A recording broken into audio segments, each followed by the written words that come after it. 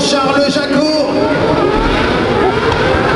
Et oui, vous savez que Damien Crépeau a écrit en tête à queue à l'envers. Je ne sais pas qui est ce pilote.